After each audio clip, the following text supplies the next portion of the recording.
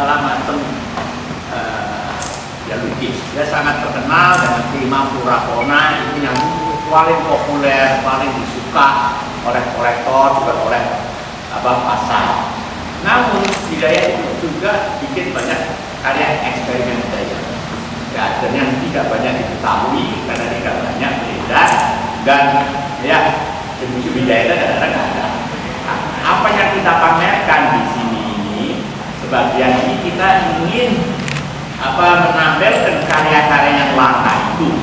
Dan itu memang hasil daripada apa pencarian di apa eh, ya research selama 25 tahun. Karena saya pun mendalami karya-karya di di selama 25 tahun. Saya menemukan karya-karya memang tidak lazim. Seperti di sini ini karya abstrak nah karya abstrak ini akan pada waktu itu dia itu sudah memakai koran bukan dok-dok apa? Eh, cat cat itu melukis ditaruh di sini ditempel di sini ini kain ditempel di sini. Dan ini tahunnya itu tahun 67 yang pada waktu itu kata satu baru mulai di Indonesia. Jadi sebenarnya kalau Hidayat itu biasanya terkenal dengan kalau abstrak biasanya namanya juga tidak pernah disebut. Saya di sini membuktikan bahwa Hidayat itu juga salah satu pionir untuk lukisan abstrak. Dan lukisan abstraknya itu bagus-bagus sekali. Coba ini kita ada di sini. Lima wah tadi di tempatnya Banjar Purwokerto berada di Musik Budaya. Satu. Sangat mengacam ragam ada yang hanya cat monokrom ya yang coklat indah. Tapi itu ini itu itu dia semuanya sudah pakai kolaj itu kolajnya berupa judulnya diberi oleh Pak Widaya sendiri nempel-nempel besi. Dan kolajnya itu berupa karton karbon itu yang ditempel diwarnai. Nah ini jaring-jaring malam ini ini seperti jaring benar taruh di situ. Lalu dikerjakan nah, gaya lain itu adalah gaya kubisme yang juga tidak banyak ada di apa di peredaran atau di koleksi kolektor-kolektor. Nah makanya saya tadi juga mengatakan budaya itu di Indonesia. Picasso itu kan adalah top pelopor pionir kubisme ya. Dan kita lihat karya ini memang kubisme tapi coba tidak ada dua kepala yang sama bahkan bandingkan lain-lain lukisan tidak ada dua yang sama. Jadi dia itu tidak kalah kaya imajinasi Picasso tapi kalau demikian ini bukan Picasso kita juga langsung tahu ini bukan Picasso mbak mungkin kubismenya gayanya itu yang apa ada pengaruh Picasso kita eh, tapi mulai awal kolase itu berapa sih? ah ini yang kita temukan itu yang mulai awal saya dapat itu lebih itu tahun lebih dari itu tahun 6 ini tahun 67 tapi kok abstraknya? Itu tahun 59 saya udah punya. Tapi tidak pakai kolase. Jadi itu dari saya kira dia selama tahun 60-an bahkan lihat tahun 9 itu dia sudah bikin abstrak ya mungkin ada yang lebih muda ada lebih tua dari itu coba saya. Belum dapat ada kan lebih banyak yang uh, apa uh, produktivitasnya itu kan mungkin juga masih banyak yang belum saya temukan. Tapi di musim Hidayah saja ada Hidayah sangat terkenal dengan uh, juga melukis dari cerita-cerita Bible. Jadi dia ini walaupun dia seorang Muslim, tapi dia juga melukis apa? Tapi juga cerita-cerita Bible tuh dia suka lukis. Misalnya waktu itu uh, keluarga suci ngungsi ke ke Mesir. Ini Nabi Nuh kan? Nabi Nuh juga cerita di situ. Dan dua Nabi Nuh dia memang ada mengulang. Tadi di tempat Bidayat ada Nabi ini kan? Ya ada. Ini juga ada tapi toh walaupun mengulang tema tapi toh masing-masing itu kerjakan betul dengan hati sepenuh hati sehingga tetap tidak ampang tidak kelihatan rutin kalau ini perahunya Nabi itu masih tengah laut ya ya sangat uh, sangat uh, apa uh, sunyi ya sangat nah, itu apa uh, apa uh, sangat ya sunyi tidak ada apa-apa. Tapi di sini ini perahunya sudah melampau kembali di mana binatang-binatang itu sudah turun kembali ke bumi. Ya kelihatan pura nah ini kalau kita tanya orang yang segini yang begitu ya dan saya seperti itu tapi belinya ini nah juga cerita dari Bible yang dia banyak sekali bikin itu ada Adam dan Hawa ya, Adam dan Hawa dan kita anehnya Pak Widaya itu kan bikin juga banyak manusia-manusia eh, primitif, patung primitif dan sebagainya. Adam dan Hawa itu ya saya sebenarnya kan juga primitif. Manusia pertama, tapi di sini tidak kelihatan itu primitif. Namun walaupun Adam dan Hawa, kadang-kadang versinya beda, itu kan juga ya. Tapi ya ini hanya pendapat orang saja. Jadi kayak widaya itu begini banyaknya di uh, ruangan ini tidak ada sentuh yang sama jadi tidak membosankan seperti yang ini ya ini clear warna mungkin sangat cocok tapi ini kan tema sebenarnya tema ini tentang keluarga. Tapi di sana nanti ada tema keluarga lagi ini keluarga petani. Nah di sini ibu indahnya ini ibu dan tapi dia dia melukis kucing juga ibu dan burung ibu dan anak. Ya? Nah di sana ini anak-anak. Ini mana anak-anak. Ya? Uh, memelihara kelinci. Kebetulan kelinci itu menurut saya uh, ini yang kita katakan apa kehidupan primitif tema ini atau tafrem ini di sini kita temukan juga ini kan semacam drawing orang akan mengira ini adalah studi dari itu. Baru ini baru tapi tidak demikian. Ini sekitar mungkin setahun lebih dulu tahun 9 ini tahun 80 jadi Bidayah itu memang tidak ada aturannya ya. Karya-karya dia ada yang tidak pakai tekstil. Ada yang pakai, pakai tekstil. Tapi tidak ada periode ini pakai tekstil periode ini pakai tidak tekstil. Pada waktu yang bersamaan dia bisa tulis dua-duanya jadi memang uh, daya kayanya itu luar biasa. Kita lihat di sana coba. Ini kan tema ini sebenarnya.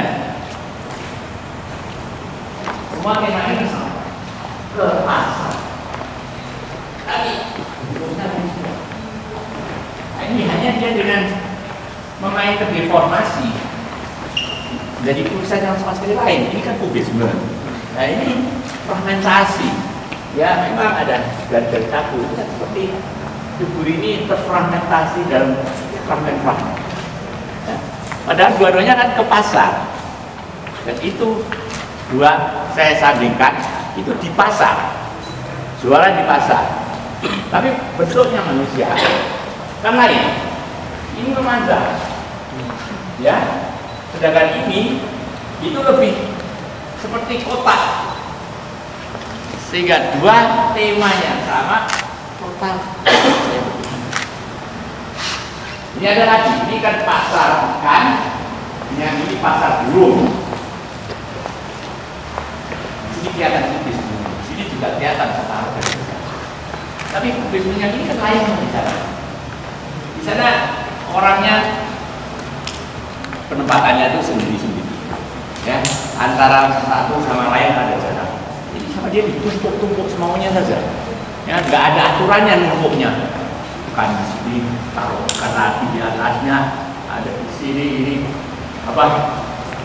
Orang-orang itu berdiri di atas. Ember ada ikannya.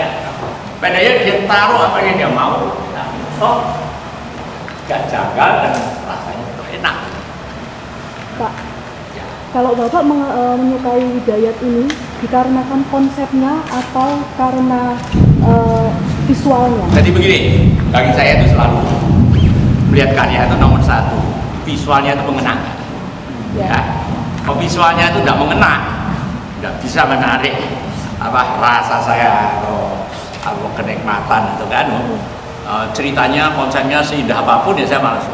Tapi kalau visualnya tarik, tapi konsepnya bagus, itu satu nilai tambah. Nilai karya itu akan meningkat. Nah ini nanti saya akan bilang ke orang-orang. Anda nanti kalau datang ke pameran ini akan pameran ini akan dibuka oleh Hidayat. Jadi sebenarnya ini patung ini saya membikinkan. Jadi ini kan karya Rudi Matupani yang pameran itu. Kita tuh sayang untuk ngambilkan itu. Nah sekarang gimana merespon itu? Dia bikin tutup kotak atau gimana kan jelek. Nanti saya diskusi ya sama Pepat sama Rudi. Akhirnya oke lah dibikin patung Hidayat aja yang seperti boneka. Karena kok patung yang benar-benar patung, patungnya nggak ada dan sulit. Kalau ini kan yang persis ini ya, nggak ada yang dalamnya kan persis. Ya gitu loh. Nah kemarin kan ternyata pakaian dia semuanya saya dibakar. Jadi Oh. akhirnya ini pakaian saya, ini batiknya saya, celana saya, pakainya memang uh, tidak dan topinya itu dulunya saya punya topi begitu, tapi kemarin itu sebelum bisa diberikan ke sana tuh digerokotin anjing gitu. Nah, jadi kan akhirnya memang bisa nyarikan ini persis sekali Ini foto sama Aduh, ini, ini pasti banyak yang belum saya sudah meramalkan. Saya sudah meramalkan. Halo Pak Yen.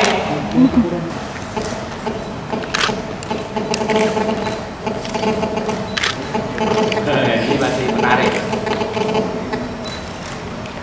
Karena Pak Widya sama saya itu hampir sama tinggi. Banteng mana Pak? Hah? Banteng mana? Kenapa? Banteng mana? Wah, nggak Pak Widayat, jelek. Hah? Pak Widayat itu kenal Pak Halo Pak. Pak Widayat itu kenal Den. Sama-sama. Jadi ketika dia masuk isi, wah ini tidak seperti seniman, pakaiannya selalu necis. Jadi kolega-koleganya yang bapak ini dulu pikirnya, wah ini seorang bisnismen dari mana? Karena rapi tidak. Oh seniman kan? Makanya ketika pada waktu topinya akhirnya nggak bisa dapat, saya punya kain telah itu tempel atas mereka senimannya itu bilang dia kan seniman tembelan tidak apa-apa tapi kan Widayat lain dia seniman yang rapi justru kalau tembelan itu ah tidak Pak Widayat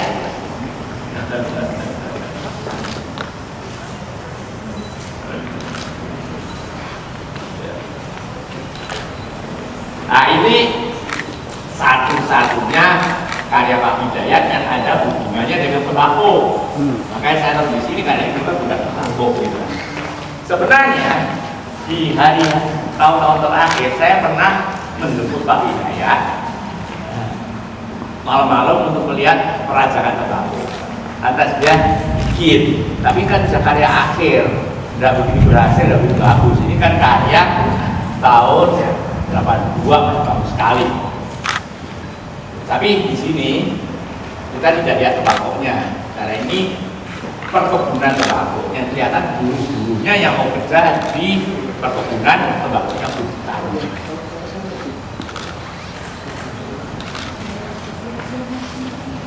Ini kita tutupi karena ini ada karya Eko Nugroho. Nah, sambil menggembala sapi, ini main suling. Orangnya itu sangat santai, dia itu tidak peduli apa sama sama bahwa dia orang pakat tinggi, bahkan dia tidak peduli soal itu. Jadi orangnya penuh humor, selalu santai dan orang yang bahagia sekali gitu. Ya, loh, dan kelihatan, kelihatan sekali dari lukisan lukisan dia ini orang yang apa adanya, santai natural. natural dan kan kelihatan sekali tuh Indonesia-nya kan Iya. kelihatan sekali makanya saya bilang mau lihat karya budaya nggak perlu dilihat? "Hmm, saudara-saudaranya rasanya apa? Rasanya kayak Indonesia nggak ada gitu eh?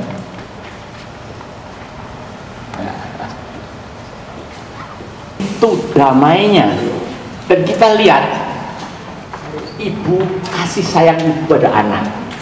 Kasih sayangnya terekspresi sekali walaupun sebenarnya ibunya kan dibikin sangat sederhana ya. Anaknya ya sederhana ya kepala gitu tapi toh gesturnya ini dan sebagainya itu memberikan kesan kasih sayang yang begitu mendalam. Di situlah yang Pak Hidayat bilang gernya suatu karya gitu. Ya jadi ini saya taruh di sini karena di sini ini ada lagi keluarga. Dan Pak Widya juga perlu humor. Ini keluarga berencana sebenarnya KB ya, anaknya dua satu laki satu perempuan. Ya ini tapi toh karena deformasinya lain sama sekali jadi dua lukisan yang sama sekali berbeda kan? Ya? Dan itu ibu dan anak. Ini ibu dan anak kan total berbeda. Di situ letaknya kehebatannya dia dan menariknya karya sehingga kita punya berapa pun bidaya itu kita itu tidak pernah selesai. Saya bilang mengoleksi karya bidaya tidak ada habisnya. Karena setiap kali lain nah, seperti mainan anak-anak. Ini juga lucu kan tadi di sana ada juga kan lain. Ya ini. Nah, kan lain. Orang-orang ini dibikin aneh ya toh. Nanya saja masa jarinya buat sini kakinya tapi tidak mengganggu. Ini teman saya dari Singapura dari Singapura Museum ya. nah kita juga kasih lihat katalog-katalog budaya dari yang lama di sini saya banyak belajar juga karena ini ada interview tahun 84 dengan Sudarmadi tentang apa dia bikin spesial bentuk-bentuk itu dijelekkan karena dia bisa bikin cantik. Tapi tidak menarik. Kalau dijelekkan dibikin orang cacat orang akan tertarik ya tapi ada ya banyak. Ya ini belum semua. Dan ini Pak Widaya. Itu kalau bikin suatu apa perhelatan atau apa? Dia itu sangat generous murah. Hati dia bikin ini tamunya semua dikasih. Dan buat, buat dia karena begitu kreatif mudah sekali bikin dan ada dua yang sama. Sempet itu ada pameran itu orang antre dengan katalog semua minta dibikin from scratch. Nggak ada dua yang sama. Di situ saya bilang luar biasa. Nggak ada tandingannya. Ini nak oh itu dokter Rina tadi yang ikut ikut apa eh, ikut menulis bukunya bisa hanya dengan memainkan besar kecilnya daun dan sebagainya kerenggangannya dan sebagainya sangat piawai ya. dan kadang-kadang tidak ada makhluk sama sekali tapi ya ini di sini digabungkan antara kehidupan primitif dengan pura-pura ini Di Papua ya Pak? apa? Iya, padahal dia pernah ke sana. Jadi ini semua fantasi. Dan ini kalian ini satu senang pada waktu ada orang ingin uh, minta dia bikin begitu dan kemudian dia kan buku dan sebagainya tapi sebenarnya fantasi lah. Ya, itulah seniman. Gitu. Coba. Ini pura-puranya total menyerah. Di sana lebih hijau-hijauan. Antara kesekian banyak karya yang Pak Uday itu Pak Polisi ada nggak salah satu beberapa karya yang memiliki eh, kisah yang unik ketika Bapak mendapatkan Wadah, wadah. Tapi kebetulan lukisan itu sudah berkali-kali saya pamerkan dan saya ceritakan sehingga kita tidak tahu di sini karena tempatnya nggak cukup. Dan bukunya juga ya nanti terlalu tebel gitu. Jadi justru di sini itu yang saya masukkan ke dalam buku itu adalah karya-karya yang mungkin pernah dikasih lihat tapi baru sekali dua kali pernah saya gabung di rumah saya tapi eh, belum terkenal maksudnya belum diketahui oleh banyak orang. Kalau yang dari lantai ini ada nggak apa eh, puncak-puncak karena yang menurut Bapak paling ya secara artistik secara Wah gini, Pak Hidayat, ya Pak Hidayat itu karena dia ini oh, lain dengan Fandi. Fandi kan ekspresionis. Dia melampiaskan emosinya dalam satu setengah jam, dua itu lukisan nggak dia nggak pernah dia lagi. Tapi Pak Hidayat itu lukisan selama itu masih kan di depan dia di kafe, kafe terus. Kadang-kadang sudah dipamerkan nggak aku balik perbaiki lagi. Sehingga kalau kita lihat umumnya rata-rata kualitasnya itu tidak ada yang substandard. Memang ada yang menonjol seperti tadi saya dapat yang menarik dulu. Saya bilang ini juga menonjol sekali. Saya bilang bagus ini. Gak ada yang sampai. Jadi memang susah. Susah dan kadang-kadang juga selera. Selera saya suka misalnya patung-patung ini. Ini maupun deformasi atau deformasi yang seperti itu dan sebagainya. Tapi banyak orang suka sebenarnya manis. Ya, tapi yang buat saya suatu hmm, apa kondisi suatu perkara baru itu bukannya yang abstrak, satu yang sebelumnya tapi katanya. Ya biasanya figur, tanaman, ya, perorangan, itu orang cerita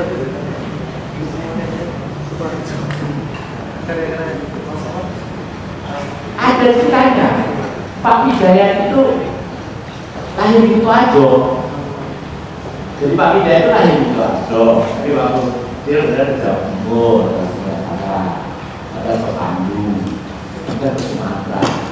Nah, tahun 50 ketika di eh, didikan, dia ke Jogja. Di Jogja sampai dia pensiun tahun 88 karena tahun 93 dia pindah ke Mungkin bikin museum itu. Jadi Kuto Ato itu tempat kelahiran dia.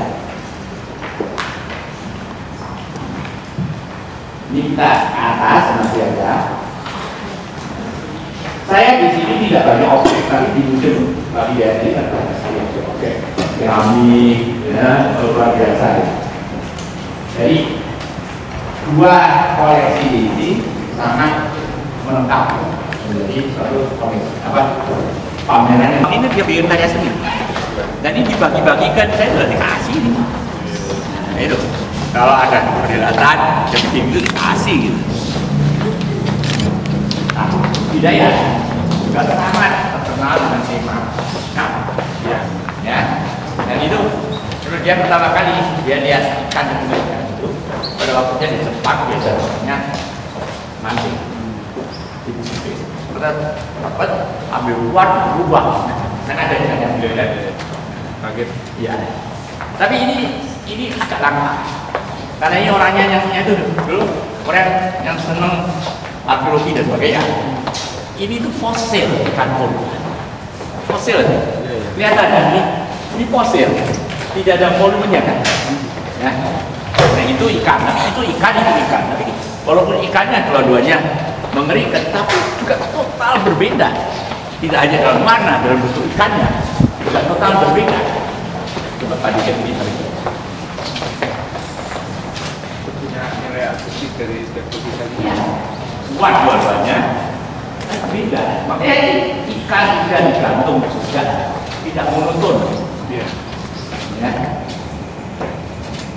Dan dia banyak bikin topeng atau fisik muka. Kadang-kadang kita tidak bisa bedakan antara topeng dan muka. Ya, seperti ini, ini saya tulis. Kadang-kadang Pak Bidai itu tidak ada tulisannya, ada yang ada tulisannya. Sehingga kadang-kadang kita harus memberikan title sendiri ya ini saya pikir ah ini kok lebih baik PC saja lah daripada topeng gitu loh. Nah, kalau topeng kan sering topeng primitif. Iya. Tapi kalau ini jelas patung primitif kan, kelihatan sekali. Jadi dia hal-hal yang primitif itu dia banyak sekali perhatiannya. Tapi kadang-kadang dia itu bikin sesuatu yang suka seperti lain seperti itu ya. Itu kan bentuknya binatang itu kan nyata ya, walaupun disederhanakan. Tapi bagi saya di sini ini yang saya bilang luar biasa, itu backgroundnya, warna-warninya itu kan jelas sekali kan. Ya, toh? itu kan seperti lukisan abstrak. Adalah ekspresionis. ya toh luar biasa itu itu nggak lain. Itu nggak banyak. Jadi saya itu dulu pengen sekali punya akun lain. Dia punya keledai begitu. Ya mau saya beli nggak boleh. Dia maunya tukar sama eh, apa patung-patung begitu yang saya suka sekali juga dan saya nggak mau. Gitu loh. Akhir-akhir itu saya dengar dia mulai jualin eh saya tanyakan sudah. Akhirnya tapi saya nggak main Pak Hidayat lain semua gitu nggak ada dua yang mirip nah itu kehebatannya Hidayat di sana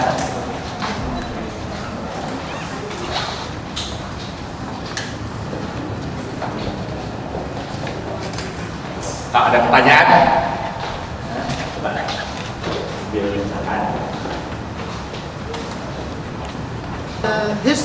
side, yeah. Jadi saling melengkapi ya Historical side. So for me, for me, it's more interesting to to put uh, Pavidayat in the Indonesian art history. Ya, mengapa dia khusus dan lain lain dari orang lain. uh, Dan saya kira saya lebih suka ini lukisan ini uh, bagus sekali ya. Ini tari Tari payung. tari payung tayub itu tarian saya rakyat um, yang khusus tentang Tafi Dayat bahwa the pokok pokoknya lokal. Yeah. You know, he, he, he takes the local uh, s- um, yeah, subjects Yeah. and but still he makes a modern painting. So he used the daily life, daily life of Japanese uh, people from Yeah, every yeah, day, the, the, like this dance or the farmers, and but his style is very unique. Yeah. It's not like any other Indonesian Yes, uh, painter. So as I said this this morning, that when other painters were making uh, realist art, realism, expressionism, Fidayat just started to work with this. Yeah, they call it decorative, but it Yeah. is not decorative. Yes. This is this is the problem. Yes. Istilah dekoratif, ya. yeah. Di Indonesia biasanya kalau dekoratif itu dari kerajinan. Yeah. Ya, you make a basket Yeah. or the the wayang puppet. Tapi Pak Hidayat suka sekali ke kerajinan. Itu inspirasinya. So, saya kira bentuk-bentuk ini eh, yang yang agak abstrak, toch ada hubungan dengan seni tradisional. Yeah. Yes, but but he changed it in his own way. You know, uh, like I said this morning, uh, many Indonesian painters they they make uh, touristic subjects. Yeah. Like like also wayang. uh, th- th- that painting is about uh, Wayang. wayang. Yeah. Uh, so many Indonesian painters they make wayang, but when Hidayat makes it, it's very different. Yeah. Yeah, it's, it's not realistic. It's not um, uh, uh, to please. Yeah, I just thought Not about that please, half an hour ago. Finally, I found the right word. It is not sweet. Yeah. Yeah. So it's not to please uh, tourists. Or, Yeah, no, uh, no. Still, it's sweet subjects. Yeah. But it's not sweet. Not like Basuki Abdullah, Ah, different. for example. It's good comparison. Yeah. Yeah. You know Basuki Abdullah, Yeah. I guess. so, if Hidayat paints uh, women, it's um, imagination, huh? and, and, and it's very strong, but not sweet. It's romantic, maybe idealistic. I, I would call everything what he makes. Maybe have another subject, yeah? Like Siber but then, yeah, okay. This is a very different style. He also he experimented much with with many styles. This is very different from, from this one. So what uh, what. Dr. Uy likes to show in this exhibition, especially in the beginning, is the abstract works Yeah. that he made in the 60s. So he, um, he he experimented with abstraction, how far how far he would go, and sometimes he make different styles in one year. He could make like that and this in the same year. It's very confusing for people like me Yes. because I like to uh, archive. Yeah. This year he made this, and then he made that, and then Yeah. you know. But it's not with him. He made different styles in the same year. Same period. Yeah. Did you find any uh, relation with uh, what is uh, being uh, achieved in modern art at the same uh, period with Hidayat painting? Uh, what, do, what do you mean? Relation? With, Uh, uh, what what has done with uh, Other painters of the same period of Hidayat. yeah, yeah. Okay, okay. Yeah, no, that, that's I think the most the most interesting thing that when when Afandi and Hendra and uh, Sujo Yodon and other painters they were making more realistic art Yeah. uh, and socially involved.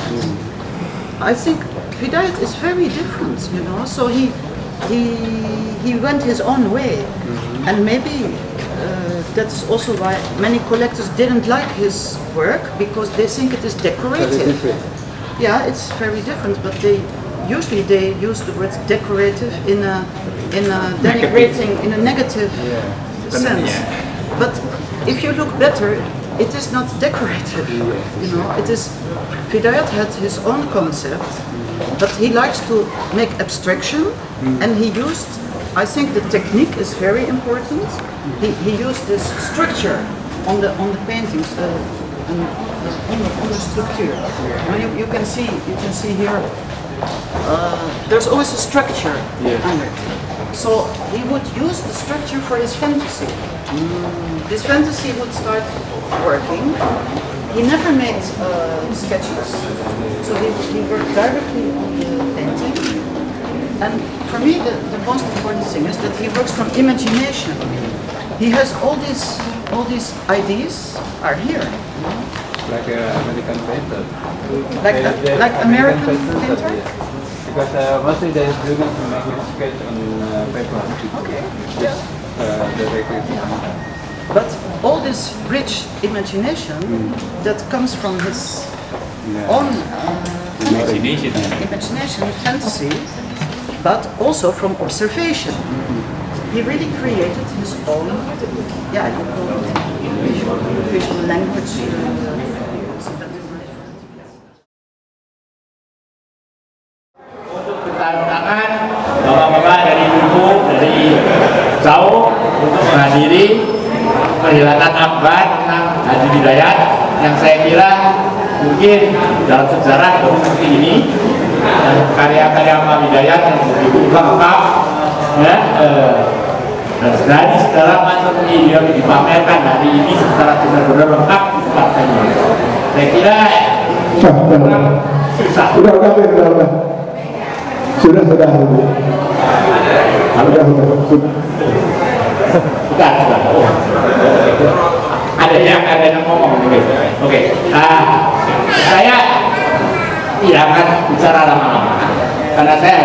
Banyak bicara tentang Pak Hidayat di press conference dan sebagainya.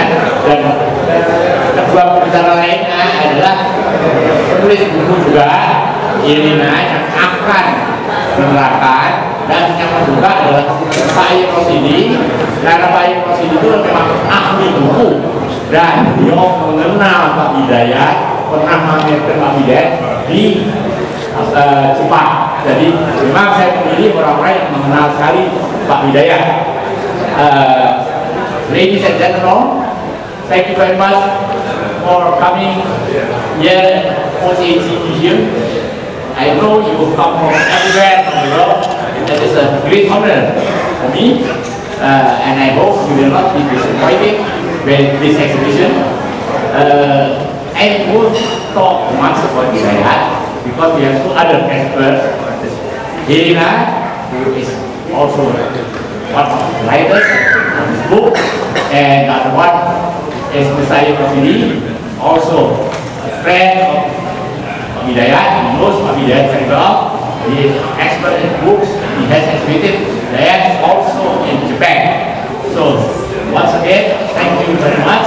And and with now the time to him. Can I have the microphone? Pak mikrofonnya Pak, yang uh, Ya.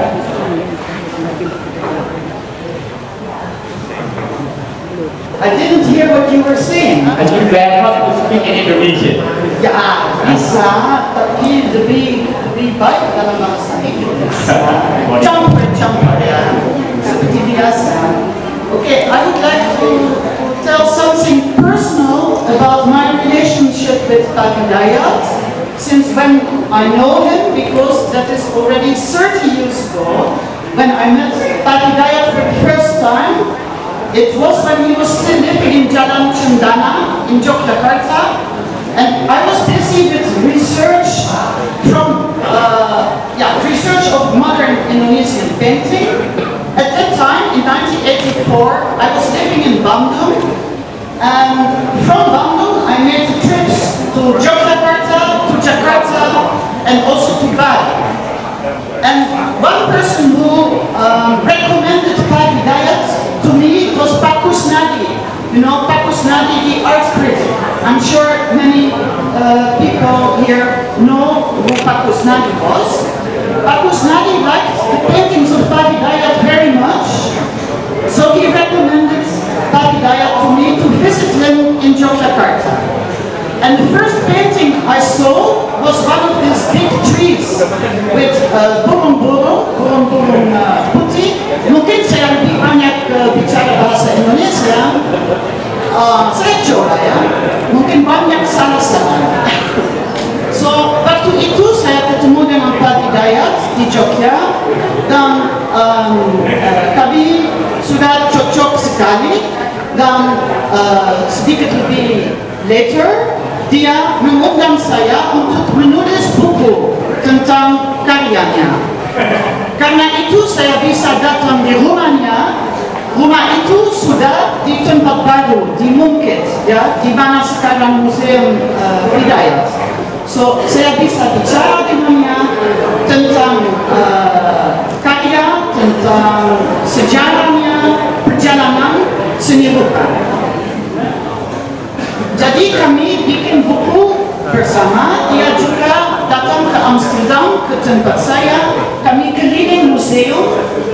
Amsterdam, di Rijksmuseum, kami lihat Rembrandt, kami lihat Van Gogh di Van Gogh Museum.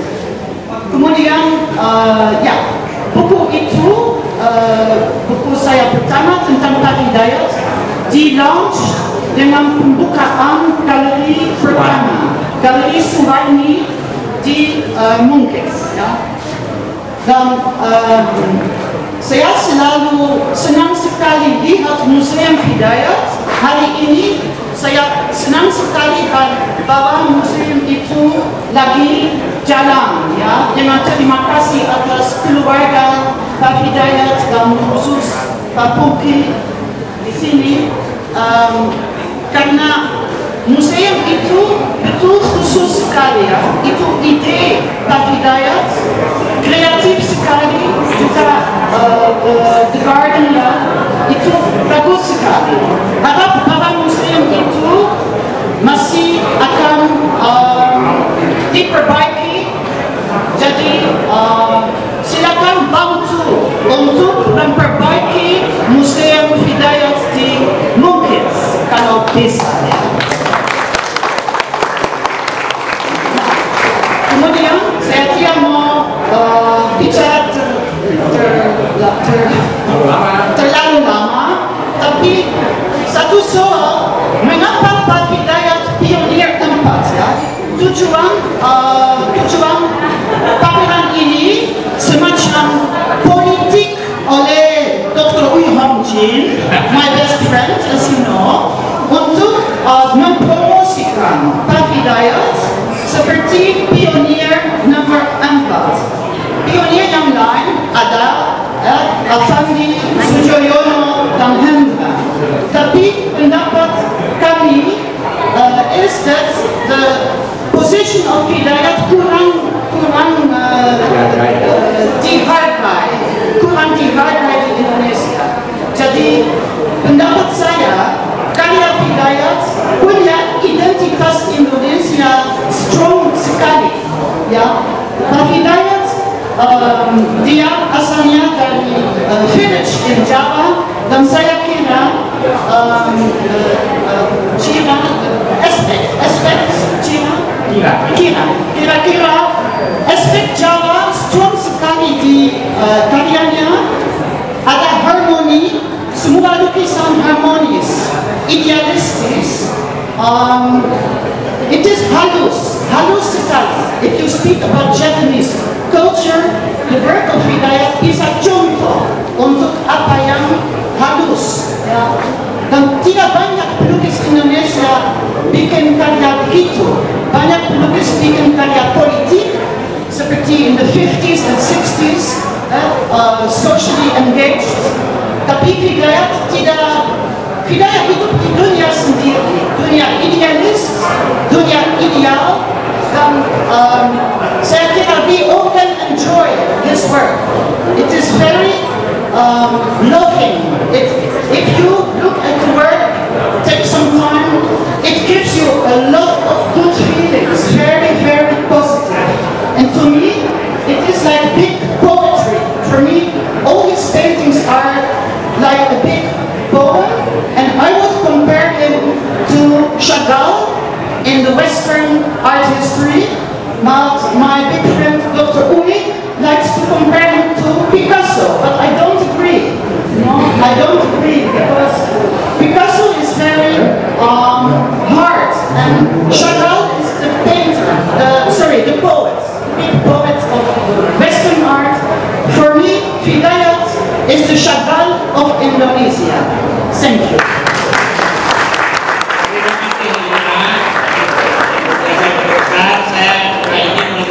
Terima kasih.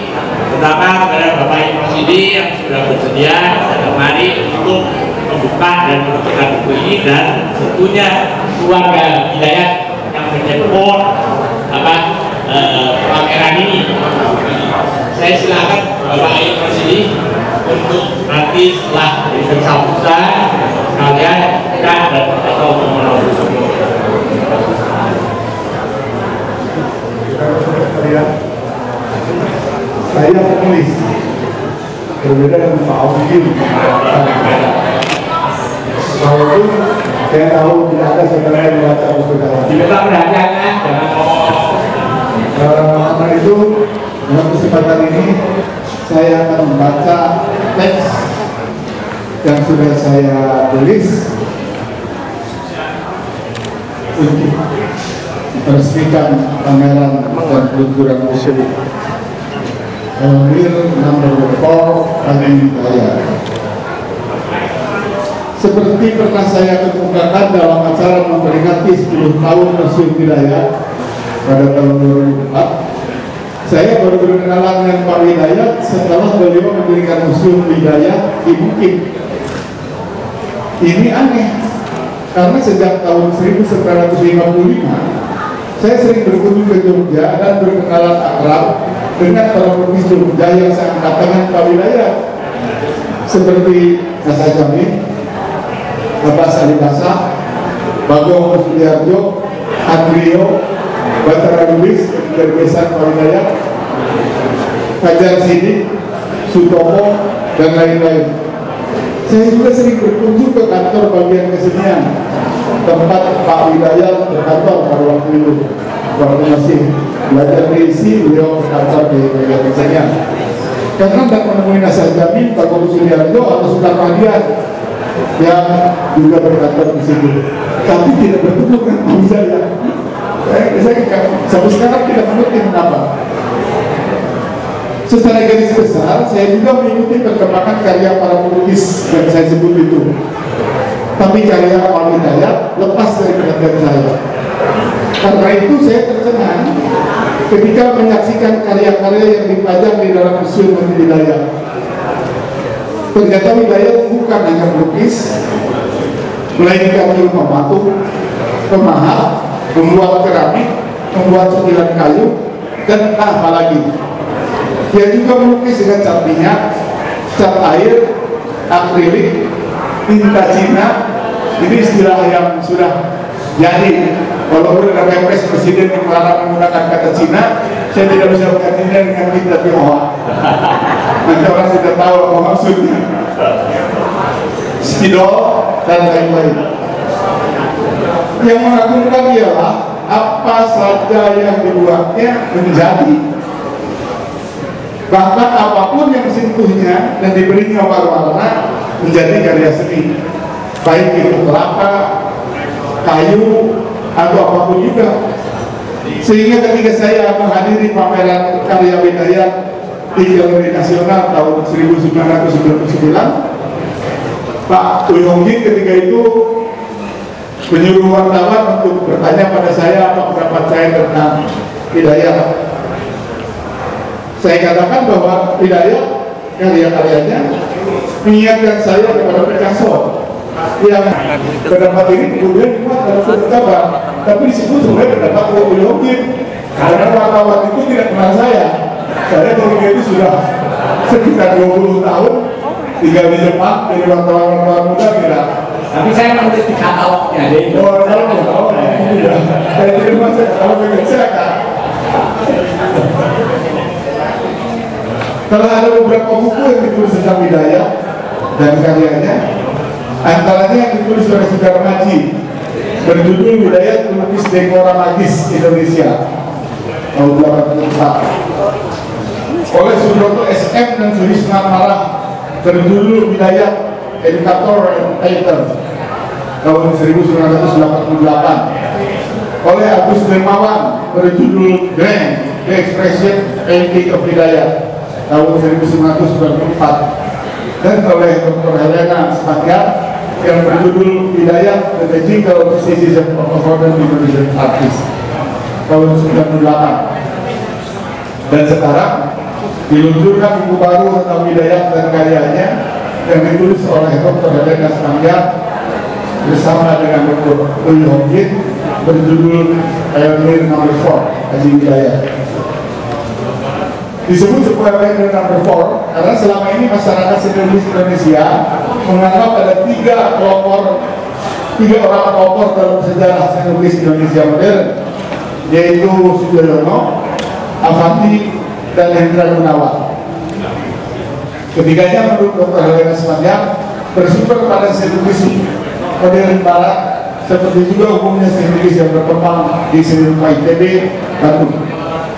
Para pelukis itu mendapat kesempatan belajar di luar negeri, umumnya ke Amerika atau Eropa. Dalam hal ini, wilayah merupakan kekecualian. Waktu dia mendapat kesempatan belajar di luar negeri, sehubungan dengan adanya pampasan perang dari Jepang, Wilayah belajar di Nagoya selama 2 tahun yaitu dari tahun 1960 sampai 62 hal itu menyebabkan orientasi Hidayat dalam melukis berbeda dengan umumnya pelukis Indonesia yang lain kalau pelukis lain melihat belajar ke barat Hidayat melihat belajar ke timur di samping itu dia ternyata banyak memanfaatkan kekayaan filsafat dan kesenian tradisional terutama tradisional Jawa sebagai sumber inspirasinya yang dia anggap sebagai akar kepribadiannya. Menurut Dr. Helena, selama ini peranan Hidayat sebagai inovator dan inisiator gaya yang unik dengan identitas keindonesiaan yang khas tidak diperhatikan. Produktivitasnya yang tidak pernah berhenti menghasilkan karya seni dan kedudukannya sebagai pengajar diisi sangatlah berpengaruh terhadap perkembangan kesenian Indonesia modern. Karena itu menurut dia patutlah Hidayat dianggap sebagai pionir yang keempat setelah Sujoyono, Amati dan Hendra Gunawan. Seperti tadi saudara-saudara sendiri sudah mendengar sendiri. Pameran ini yang merupakan koleksi Dr. Jin memberi kesempatan kepada kita untuk memuji pendapat Dr. Helena Semanjal itu. Dengan demikian, maka pameran ini dibuka dengan resmi dan buku pionir nomor 4 Haji Hidayat karya Dr. Helena dan Lee Hong Jin diluncurkan.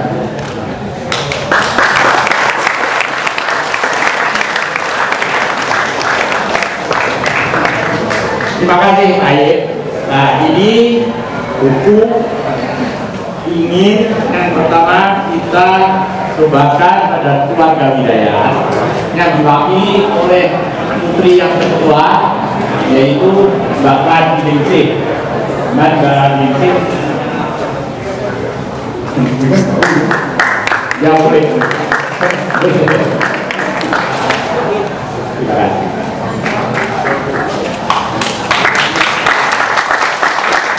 Ingin kita berikan kepada Museum Haji Hidayah yang akan diwakili oleh direkturnya dan juga putranya yaitu saudara Fajar Purnomo Sidik.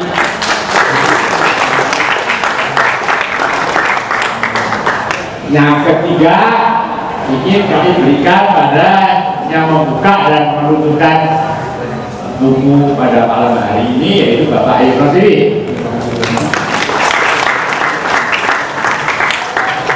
Keempat pada sahabat saya yang menulis bareng dengan saya. Tulisan itu kita tidak tahu karena dia artistry. Jadi selalu menulis itu dari segi artistry itu yang titik beratkan. Saya kolektor, melihatnya segi visualnya. Jadi saya menulis di visualnya dia sudah. Ini.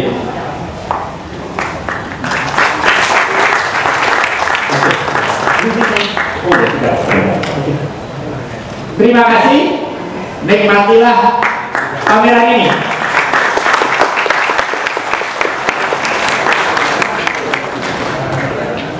Pak ngadep sini buat foto Pak. Oke, ya betul betul. Foto bareng Pak. Pak, yang yang So, ya. yang lain. Pak oh, ikut aja.